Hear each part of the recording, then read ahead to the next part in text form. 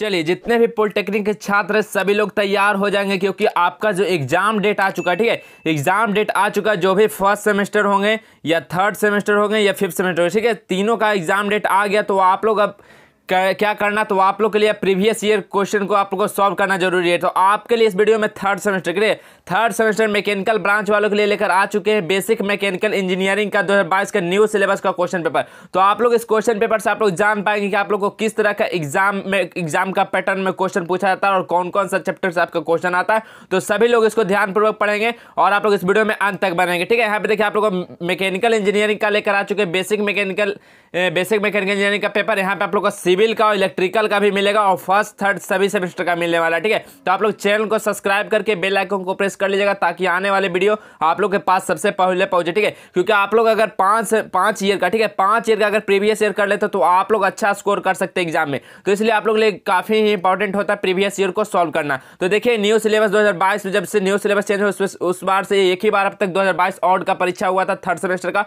उसी का क्वेश्चन करवाने वाले तो जो भी मैकेनिकल के थर्ड सेमेस्टर को तो सभी लोग वीडियो में अंत तक बनेगा। तो चलिए आज के क्वेश्चन में आप लोग को टोटल आप लोग को जो ट्वेंटी ऑब्जेक्टिव रहता है, उसका भी आप लोग को सोल्यूशन करवाने वाले इस वीडियो में और जितना भी आप लोग को सब्जेक्टिव है, उसका भी हम क्वेश्चन दिखाएँगे। तो आप लोग वीडियो में अंत तक बने रहेगा तो चलिए देखिए आप लोग का ग्रुप वन रहता है। ग्रुप वन में क्या रहता है? ट्वेंटी एमसीक्यू रहता है, एक एक्स मार्क्स का, ठीक है? तो चलिए हम लोग क्वेश्चन को बढ़ते हैं। तो पहला क्वेश्चन आप लोग देख सकते हैं। पहला क्वेश्चन क्या है? कि the unit of energy is S I बताइए, जो एनर्जी ऊर्जा का जो एसआई यूनिट होता है, वो क्या होता है? बहुत ही ईजी और शानदार क्वेश्चन पूछा जाता है आप लोग से। तो आप लोग अगर थ्योरी पढ़े होंगे तो आप लोग आसानी से सभी twenty out of twenty MCQ कर पाएँगे। तो the unit of energy in ऐसा यूनिट क्या होता है बताइए ऊर्जा का ऐसा मात्रक क्या होता है? तो ऊर्जा का ऐसा मात्रक सभी लोग जानते होंगे, जूल होता है, ठीक है? जूल होता है। ऑप्शन नंबर बिल्कुल सही आंसर हो जाएगा, जूल। ठीक है? जो इंग्लिश अगर अच्छे से नहीं पढ़ना पढ़ पाते तो हिंदी में भी आप लोग दिया रहता है क्वेश्चन आप लोग उससे भी आप लोग सही सही ऑप्शन को सिलेक्ट कर सकते हैं। चलिए नेक्स्ट क्वेश्चन आप लोग देखेंगे तो नेक्स्ट क्वेश्चन क्या है? तो देखिए नेक्स्ट क्वेश्चन क्या है? कि द टेम्परेचर एट ठीक है the temperature at which the volume of the gas become zero is called बताइए, क्या हो जाएगा? बताइए, जे, वह ताप जिस पर किसी गैस का आयतन शून्य हो जाता है, वह क्या कहलाता है? बताइए the temperature at which the volume of the becomes zero is called क्या हो जाएगा? तो क्या कहा जाता है? तो कहलाता है एब्सोल्यूट ज़ीरो टेम्परेचर कहा जाता है। ठीक है? एब्सोल्यूट ज़ीरो टेम्परेचर कहा जाता है। वह ताप जिस पर गैस का आयतन क्या होता है? शून्य होता है। उसको हम लोग क्या बोलते हैं? एब्सोल्यूट ज़ीरो टेम्परेचर बोलते हैं। ऑप्शन नंबर भी बिल्कुल सही आंसर हो जाएगा सेकंड का। चलिए नेक्स्ट क्वेश्चन देख लीजिए। नेक्स्ट क्वेश्चन क्या है? कि विच ऑफ़ द ठीक है? क्या which of the following is the extensive properties of thermodynamic system बताइए। निम्नलिखित में से कौन है जो एक्सटेंसिव प्रॉपर्टीज़ है थर्मोडाइनमिक सिस्टम का? बताइए थर्मोडाइनमिक सिस्टम का एक्सटेंसिव प्रॉपर्टीज़ कौन है? प्रेशर है वॉल्यूम है टेम्परेचर है या डेंसिटी है? क्या हो जाएगा? थर्ड का करेक्ट तो वॉल्यूम वॉल्यूम क्या है? थर्मोडाइनमिक का एक्सटेंसिक प्रॉपर्टीज़ है तो ऑप्शन नंबर बी बिल्कुल सही आंसर हो जाएगा वॉल्यूम चलिए नेक्स्ट क्वेश्चन देखते हैं. नेक्स्ट क्वेश्चन क्या है? कि in an irreversible process there is क्या हो जाएगा? बताइए। इसमें पूछा गया है कि इरिवर्सिबल प्रोसेस में क्या होता है? बताइए इरिवर्सिबल प्रोसेस में क्या होता है? लॉस हीट का लॉस होता है, या हीट का कोई लॉस नहीं होता है, या हीट का गेन होता है, या नन ऑफ़ दिस होता है। क्या होता है? बताइए। इरिवर्सिबल प्रोसेस में क्या हो जाता है? तो इरिवर्सिबल प्रोसेस में क्या होता है बाबू? लॉस ऑफ़ हीट होता है, ठीक है? वहाँ पे क्या होता है? उष्मा का नुकसान हो जाता है, ठीक है? लॉस होता है। तो ऑप्शन नंबर है बिल्कुल सेंस हो जाएगा लॉस ऑफ़ हीट चलिए नेक्स्ट क्वेश्चन देखिए। नेक्स्ट क्वेश्चन क्या है? नेक्स्ट क्वेश्चन क्या है? कि with the increase in temperature heat will भी बताइए। अगर टेम्परेचर को इंक्रीज करेंगे तो हीट क्या होगा? हीट इंक्रीज रहेगा रिमेन कांस्टेंट रहेगा डिक्रीज होगा, या बी डबल्ड हो जाएगा, बताइए। जब हम लोग क्या करेंगे? टेम्परेचर को इंक्रीज करते हैं तो उसके साथ उष्मा का क्या होता है? तो उष्मा क्या होता है? तो वहाँ पे इंक्रीज होता है उष्मा भी। उष्मा क्या होता है? इंक्रीज होता है। तो ऑप्शन नंबर ए बिल्कुल सेंस हो जाएगा इंक्रीज होगा। Next question the amount of heat require ठीक है? क्या है? कि the amount of heat require to raise the temperature of substance by one degree is called बताइए, अगर हम लोग किसी पदार्थ के तापमान को एक डिग्री हम लोग बढ़ाएँगे तो उसके लिए आवश्यक उष्मा की मात्रा क्या कहला जाएगी तो क्या कहलाते हैं? वर्क कैपेसिटी या हीट कैपेसिटी या एनर्जी कैपेसिटी या नन ऑफ़ दिस तो क्या हो जाएगा? सिक्स का करेक्ट आंसर क्या हो जाएगा? Option number D none of these हो जाएगा, ठीक है? तो यहाँ पे क्या, वो क्या कहलाता है? तो वो कहलाता है क्या? स्पेसिफिक हीट कहलाता है। क्या कहलाता है? स्पेसिफिक हीट कहलाता है। जो ऑप्शन में है ही नहीं तो इसलिए इसका करेक्ट आंसर क्या हो जाएगा? नन ऑफ़ दीज हो जाएगा, ठीक है? The amount of heat required to raise temperature of substance by one degree is called क्या कहलाता है? स्पेसिफिक हीट याद रखना। ऑप्शन नंबर डी बिल्कुल सेंस होगा नन ऑफ़ दीज इसमें है। इसमें है ही नहीं ऑप्शन चलिए नेक्स्ट क्वेश्चन देखिए क्या है? नेक्स्ट क्वेश्चन क्या है? कि the process of transfer of heat in solid is called बताइए वो ये वो प्रोसेस क्या कहलाएगा? जो क्या होगा ट्रांसफ़र करेगा हीट से सॉलिड में डायरेक्ट वो, उस प्रोसेस को हम लोग क्या बोलेंगे? कन्वेक्शन या रेडिएशन या कंडक्शन या नन ऑफ़ दिस तो उस प्रोसेस को हम लोग क्या बोलते हैं बाबू? तो उस प्रोसेस को हम लोग कंडक्शन बोलते हैं ठीक है? कंडक्शन बोलते हैं जो क्या करता है? हीट को ट्रांसफ़र करता है डायरेक्टली सॉलिड में ठीक है? ऑप्शन नंबर से बिल्कुल सही हो जाएगा कंडक्शन चलिए नेक्स्ट क्वेश्चन देखिए क्या? The transfer of heat by radiation बताइए जो रेडिएशन के थ्रू जो हीट का ट्रांसफ़र होगा उसको हम लोग क्या बोलते हैं? बताइए उसको हम लोग क्या बोलते हैं? Does not require any medium या रिक्वायर एनी मीडियम या रिक्वायर एनी स्पेस या नैन ऑफ़ दिस तो क्या हो जाएगा? एट का सही आंसर क्या हो जाएगा? तो वहाँ पे does not require any medium ठीक है? जब हम लोग हीट का ट्रांसफ़र रेडिएशन से करते हैं तो वहाँ पे कोई भी मीडियम का ज़रूरत नहीं होता है। तो ऑप्शन नंबर ए बिल्कुल सही आंसर हो जाएगा does not require any medium ठीक है? रेडिएशन को हम लोग जब जब हम लोग हीट को ट्रांसफ़र करेंगे रेडिएशन द्वारा तो कोई भी वहाँ पे क्या होगा? कोई भी हम लोग मीडियम की ज़रूरत नहीं होगा। चलिए नेक्स्ट क्वेश्चन और बढ़ते हैं। नेक्स्ट क्वेश्चन क्या है? नाइन नंबर क्वेश्चन देखिए आप लोग। Which of the following is not a type of steam turbine बताइए, इसमें से कौन है जो एक स्टीम टर्बाइन का टाइप नहीं है? Impulse turbine reaction turbine Pelton wheel turbine या नन ऑफ़ दिस क्या हो जाएगा? नाइन का सही answer which of the following is not a type of steam turbine तो स्टीम टर्बाइन का इसमें कौन सा नहीं है? तो क्या हो जाएगा? तो पेल्टन विल टर्बाइन पेल्टन यहाँ पे क्या हो जाएगा? नाइन का सही आंसर क्या हो जाएगा? Which of the part is not a type of steam turbine steam turbine का पार्ट कौन नहीं है? तो पेल्टन व्हील टर्बाइन क्या है? स्टीम टर्बाइन का पार्ट नहीं है, ठीक है? इम्पल्स और रिएक्शन टर्बाइन क्या है? स्टीम टर्बाइन का पार्ट है। तो ऑप्शन नंबर सी बिल्कुल सही आंसर हो जाएगा Pelton wheel turbine next question देखिए क्या हो जाएगा? Next question ten number question क्या है? कि mechanical draft cooling tower size is the size of the natural draft cooling tower. बताइए, मैकेनिकल जो ड्राफ्ट कूलिंग टावर का आकार होता है मतलब उसका जो साइज़ होता है, वो नेचुरल ड्राफ्ट कूलिंग का नेचुरल ड्राफ्ट कूलिंग से कैसा होता है? स्मॉलर देन होता है या लार्जर देन होता है या इक्वल होता है? दोनों का या नन ऑफ़ दिस तो क्या होता है, मैकेनिकल ड्राफ्ट कूलिंग का, कूलिंग टावर का जो साइज़ होता है, वो नेचुरल ड्राफ्ट कूलिंग टावर से क्या होता है? तो क्या होता है बाबू? तो स्मॉलर देन होता है। क्या होता है? स्मॉलर देन होता है। तो ऑप्शन हमारे बिल्कुल सेंस हो जाएगा स्मॉलर देन चलिए नेक्स्ट क्वेश्चन देखिए क्या हो जाएगा।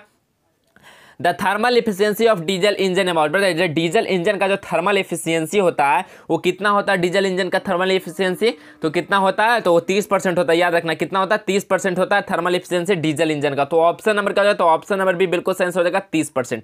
नेक्स्ट क्वेश्चन देखिए क्या है? तो नेक्स्ट क्वेश्चन है कि the constant volume cycle is also known बताइए कॉन्स्टेंट वॉल्यूम साइकिल को हम लोग और क्या बोलते हैं? कर्नोट साइकिल कहते हैं, जूल साइकिल बोलते हैं डीजल साइकिल बोलते हैं ऑटो साइकिल बोलते हैं। क्या बोलते हैं हम लोग? कॉन्स्टेंट वॉल्यूम साइकिल को साइकिल क्या कहलाता है? तो क्या कहलाता है? तो ऑटो साइकिल कहलाता है, ठीक है? ऑटो साइकिल को हम लोग क्या बोलते हैं? कॉन्स्टेंट कॉन्स्टेंट वॉल्यूम साइकिल भी बोलते हैं। तो ऑप्शन नंबर डी बिल्कुल सेंस हो जाएगा, ऑटो साइकिल। चलिए, नेक्स्ट क्वेश्चन देखिए। नेक्स्ट क्वेश्चन है कि आइडियलाइज साइकिल, ठीक है? Idealise cycle cycle for the compression ignition engine. बताइए idealise cycle for the compression ignition engine is क्या हो जाएगा? इसका सही आंसर क्या हो जाएगा? बताइए।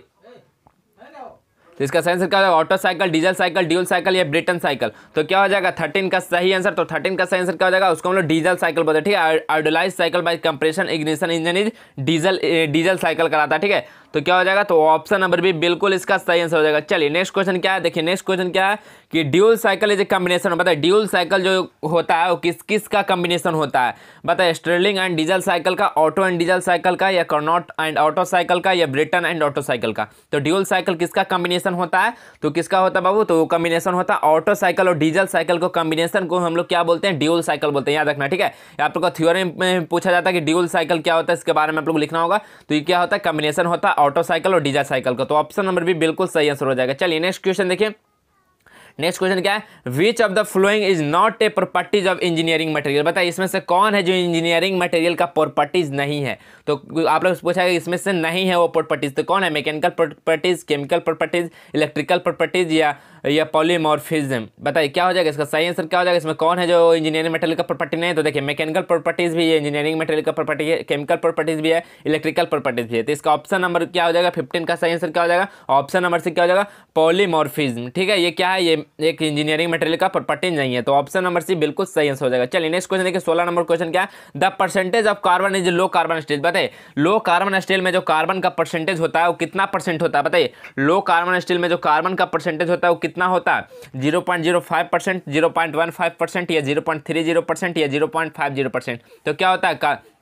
लो कार्बन स्टील में कार्बन का परसेंटेज कितना होता है? तो होता है zero point zero point one five percent, ठीक है? याद रखना, zero point one five percent होता है किसमें? लो कार्बन स्टील में कार्बन का परसेंटेज। तो ऑप्शन नंबर भी बिल्कुल सही हो जाएगा ज़ीरो पॉइंट फिफ्टीन परसेंट। चलिए, नेक्स्ट क्वेश्चन देखते हैं। नेक्स्ट क्वेश्चन क्या है? कि which form the metal is use in casting process बताइए, इसमें से कौन सा जो होता है क्या है? कास्टिंग प्रोसेस में किस रूप में धातु का प्रयोग किया जाता है? बताइए, जो कास्टिंग प्रोसेस जो होता है, इसमें से किस रूप में धातु का प्रयोग किया जाता है? लिक्विड में या सॉलिड में या गैस में या प्लास्टिक में? तो आप लोग जानते हैं कास्टिंग प्रोसेस पढ़े होंगे। तो कास्टिंग प्रोसेस में क्या होता है? मोल्डिंग कास्टिंग से पढ़े होंगे तो मोल्डिंग में क्या होता है लिक्विड फॉर्म में हम लोग उसको क्या करते हैं? मोल्ड करते हैं उस मेटल को, ठीक है? तो ऑप्शन नंबर बिल्कुल सही आंसर हो जाएगा लिक्विड ठीक है? कास्टिंग प्रोसेस में कैसे हम लोग मेटल को यूज़ करते हैं? तो लिक्विड के फॉर्म में। ऑप्शन नंबर सही आंसर हो जाएगा लिक्विड चलिए नेक्स्ट क्वेश्चन क्या है?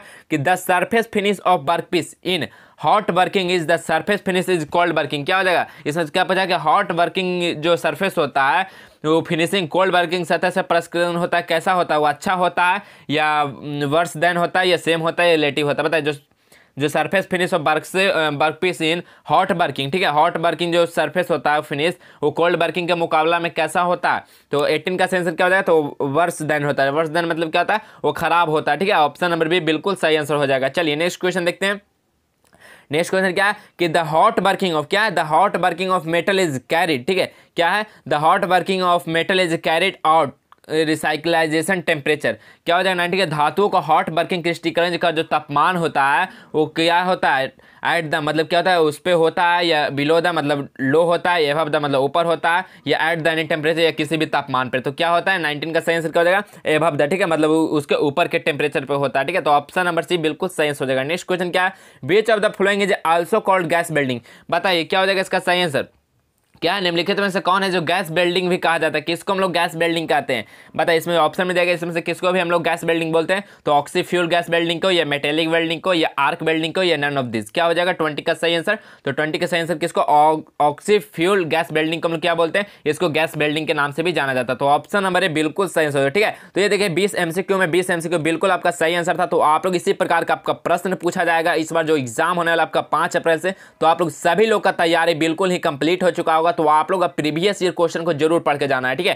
तो चलिए, देखिए, आप लोग सेक्शन बी में, जो ग्रुप बी में आता है, इसमें क्या होता है कि आप लोग का पाँच क्वेश्चन ठीक है? पाँच क्वेश्चन चार मार्क्स का बनाना होता है, ठीक है? ये बीस मार्क्स का रहने वाला ठीक है? तो यहाँ पे आप लोग देख सकते हैं, दूसरा नंबर क्वेश्चन में क्या पूछा गया write the following statement of second law of thermodynamic ठीक है? सेकंड लॉ ऑफ़ थर्मोडाइनमिक के आपको यहाँ पे क्या करना है? उसके बारे में लिखना है स्टेटमेंट को क्या होता है? दो स्टेटमेंट होता है, कि एक केल्विन प्लांक स्टेटमेंट होता है, एक सेल्सियस सेल्सियस स्टेटमेंट होता है, ठीक है? दोनों के सेकंड लॉ के बारे में आपको लिखना है। चलिए नेक्स्ट क्वेश्चन देखिए नेक्स्ट क्वेश्चन क्या है? कि डिफरेंस बिटवीन ठीक है? Difference between open system and close system write two difference with example ठीक है? आप लोग डिफरेंस लिखना open system and close system क्या होता है? इसका दो गो डिफरेंस लिखना और साथ में इसका एग्ज़ाम्पल भी लिखना है, ठीक है? इसका एग्ज़ाम्पल क्या होगा? ओपन सिस्टम का क्लोज सिस्टम का। चलिए next question question number third क्या state and explain the Fourier's law of heat conduction ठीक है फूरियस लॉ क्या होता है? Fourier's law of heat conduction इसके बारे में एक्सप्लेन करना है आप लोग को। चार मार्क्स का क्वेश्चन चलिए नेक्स्ट क्वेश्चन आप लोग देख सकते हैं नेक्स्ट क्वेश्चन क्या है? इसमें देखिए, सभी का और भी दिया गया, ठीक है? सभी का और में भी दिया गया। अगर आप लोग को क्वेश्चन नहीं बनता तो और वाला भी बना सकते हैं। मतलब आप लोग का जो पाँच क्वेश्चन बनाना, वो मान लीजिए तो आप लोग को कितना? तो आप लोग दस क्वेश्चन में आप लोग को पाँच क्वेश्चन बनाना सभी का और में आप लोग को एक एक क्वेश्चन दिया रहेगा।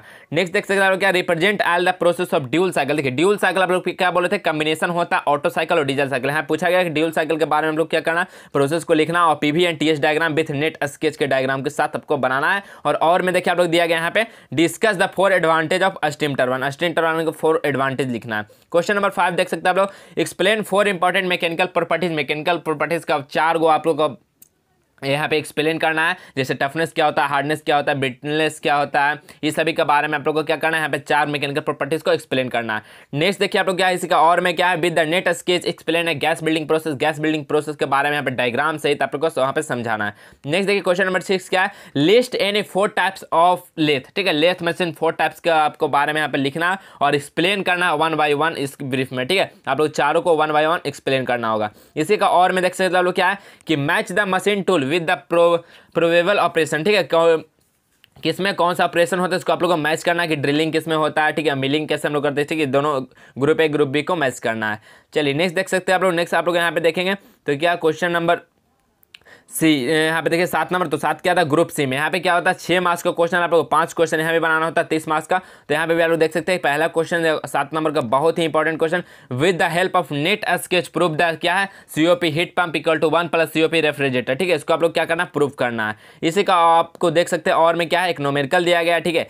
नेक्स्ट देखिए आप लोग नेक्स्ट क्या है? तो with the neat sketch explain the construction and working principle of Cochran boiler ठीक है? कॉर्कन बॉलर क्या क्या करना है? कंस्ट्रक्शन एंड वर्किंग प्रिंसिपल को लिखना है। ठीक है तो यहाँ पे देखिए, और मैं आप लोग यहाँ पे नोमेरिकल है तो इसी प्रकार का आपका प्रश्न रहेगा, ठीक है? आपका इसी प्रकार का प्रश्न आने वाला, बस आप लोग ये समझ लीजिए कि आपका पैटर्न बिल्कुल सेम रहेगा, बस आप लोग जो पढ़े हैं, आप लोग सिलेबस खत्म किए बस उसी से ही आपका क्वेश्चन पूछा जाता है, ठीक है? तो आप लोग अगर ये सभी क्वेश्चन आप लोग सभी सब्जेक्ट का डाउनलोड करना चाहते हैं तो डाउनलोड करने के लिए आप लोग को क्या करना है गूगल पर आप लोग सर्च कर लीजिएगा जस्टविल एजुकेशन ठीक है? गूगल पर सर्च कीजिएगा जस्टविल एजुकेशन वहाँ पर आप लोग वहाँ पे आप लोग ओपन कीजिएगा उसका मेन वेबसाइट तो वहाँ पे आप लोग को क्या, वहाँ पे आप लोग को दिख जाएगा एक पॉलिटेक्निक का सेक्शन उस पर आप लोग क्लिक करके वहाँ से सभी सब्जेक्ट का क्वेश्चन डाउनलोड कर पाएँगे और सभी ब्रांच का भी वहाँ पे मिल जाएगा। तो आप लोग को सभी ब्रांच का आप लोग इसी प्रकार आप लोग को सभी का वीडियो मिलेगा फ़र्स्ट सेमेस्टर थर्ड सेमेस्टर सभी ब्रांच का। तो आप लोग बस इस चैनल को सब्सक्राइब करके रख लीजिए ताकि आने वाले वीडियो आप लोग के पास सबसे पहले पहुँचे। और आप लोग के लिए काफ़ी कम समय बचा एग्ज़ाम में तो सभी लोग अब तैयारी बिल्कुल मेहनत के साथ करेंगे और अच्छा रिज़ल्ट लाएँगे, ठीक है? तो चलिए आज की वीडियो अच्छा लगा तो आप लोग लाइक कर दीजिएगा और सभी जितने भी सेमेस्टर थर्ड के स्टूडेंट है। मैकेनिकल को तो सभी अपने अपने ग्रुप में शेयर कर देंगे ताकि सभी स्टूडेंट के पास ये प्रीवियस ईयर क्वेश्चन को पढ़ पाएँगे, ठीक है, और डाउनलोड कर पाएँगे। तो चलिए मिलते हैं अगले वीडियो में, तब तक लिए इतना ही। जय हिंद बंदे मातरम।